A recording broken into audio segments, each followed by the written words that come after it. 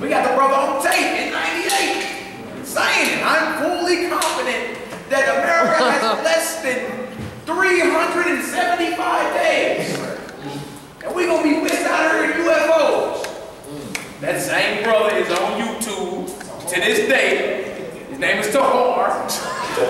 uh, sitting on there, and now everybody that was part of that camp be cussing out now because everybody's fighting and jockeying for top position in Israel. Well, Christ got the top position. That's right. We done missed the whole point now. Feel me? So y'all gonna be on Facebook and you gonna see all these cats. Know for certainty we ain't even affiliated. We No, no. rap with some of them, but we not even affiliated. No way, shape, form, or fashion. We down with the Father and know the Son Christ. And you know, and not just only like the cats out of school. You got Ben Yahweh followers still out here. Yep. You feel me? You got uh, uh, uh, Ben Amina bus Ben driver. bus driver. There's people over in the Mona Desert. You got a lot of different cults and cliques and, and factions in Israel. Right? But ain't nobody pumping the Messiah per se, as it is written. Everybody come on their own little watered down. You know, and I'm saying that we know we got the 100% truth, but we willing to hear, listen, and take reproof and correction. If these men ain't, like, it's just straight mad. You see, we just read it when, when you said it in The Lord ain't in done Isaiah, what you when, made they, when he said it in chapter seven, that his name shall be called Emmanuel, virgin is gonna give birth. He prophesied it then, it happened then, people didn't believe it then, people don't believe it today. You know, it's the same thing, no new thing under the sun, it's just the fact that we, the ones that know, we gotta keep going, and the ones that don't know, that reject it, they fall by the wayside. Yeah. Kick the dust and keep moving. Yeah, yeah. You're gonna see a lot of that. We got just a couple more scriptures in Proverbs, real quick, brothers and sisters, and we got. Let's read Proverbs, uh, Proverbs chapter one. Proverbs chapter one. Nah, man, we ain't get a chance to finish that. We got to the point, though. Labor not for the heat to purge. That was the point.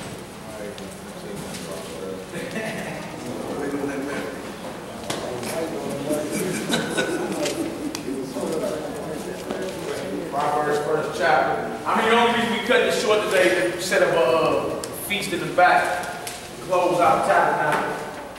Y'all don't know it's an eight-day feast. We kicked it off last Sunday in the park. You said what? you feel me? And uh, the last day of it actually ends tonight at sundown, so it, the end of it will be tomorrow at sundown. You feel me? So we just, uh, as a class, we're gonna end out, we got little, little vittles back there. Brothers down at the end of class from early, usually we kept going, but you know how it is. All right, Proverbs chapter one. We do read.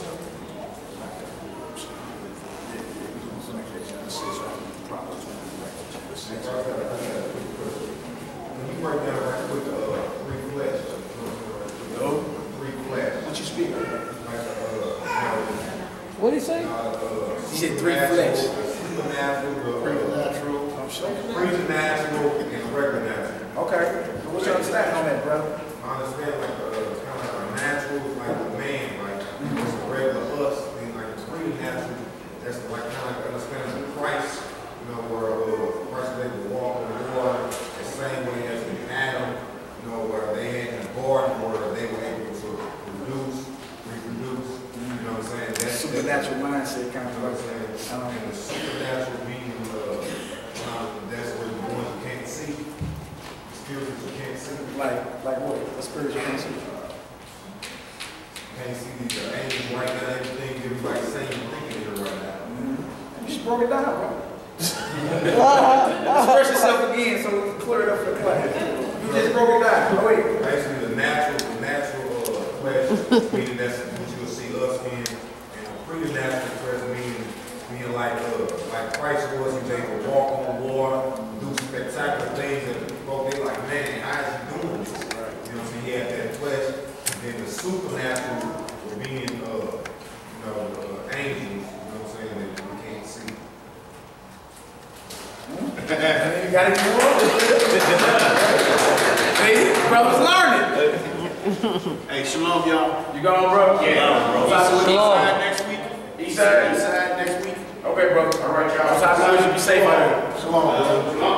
Like sis got a question. Okay, okay. Sis sis got a question, brother. That's in pursuing 1 Corinthians chapter 11. Read 1 Corinthians chapter 11, the 11th chapter. It goes into the order of God. The head of Christ is his father. That's right.